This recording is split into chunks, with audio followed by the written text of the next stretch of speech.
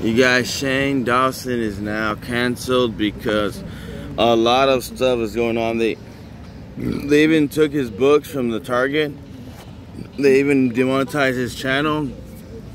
And he was doing also um, inappropriate things to an underage picture of Willow Smith. You know when she came out with that song? They shouldn't have let her come out with a song first. Well, you know, I'm not blaming them, but you know the parents. You you can't let your kids do something when they're underage, like especially if you're that famous.